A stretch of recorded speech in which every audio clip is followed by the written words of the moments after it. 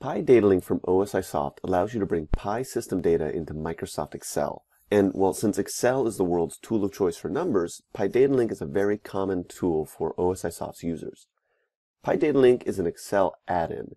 It has a separate install file that's downloadable from osisoft.com and installs on top of Excel. Once installed, PI DataLink appears on the Microsoft Excel ribbon bar. The handful or so of data link functions are available by clicking the ribbon buttons and are configured with easy-to-use sidebar wizards. Many people use PI DataLink for either building reports or analyzing their process. First, reporting. Before they first use PI DataLink, we often find people copying or pasting or importing raw data from text files. And with PI DataLink, that's completely unneeded. Your sheets update with live data and you can ask for more data anytime. See, I'll ask for an extra day here and the spreadsheet updates with my new request. I use this to create reports. At the end of every day, I open my report spreadsheet and PI DataLink replaces yesterday's data with today's data and I email it off. I have a single spreadsheet template for all of my heat exchanger assets and all I need to do is select the heat exchanger from this drop-down list and my spreadsheet calls the data for that heat exchanger. It's all from a single spreadsheet and I save the time I would otherwise spend collecting and formatting data from all over the plant.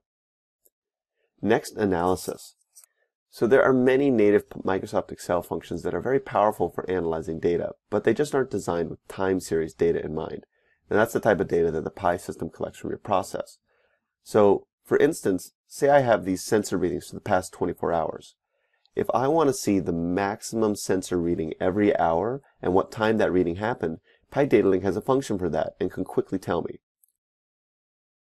To do the same thing with the native Microsoft Excel function, I would need to divide the raw data by hour, run a different maximum calculation for each hour, and then cross-reference with the raw data to find the time that that maximum happened. And well, that's a lot of steps that PI DataLink can do in one step. And what's more, if all I want to see are the maximum hourly sensor readings, I don't even need all the raw sensor data on my sheet at all. I can clear it away, and now my spreadsheet files are much smaller and calculate much faster without all that raw data. The bottom line is PI DataLink puts PI system data in Excel.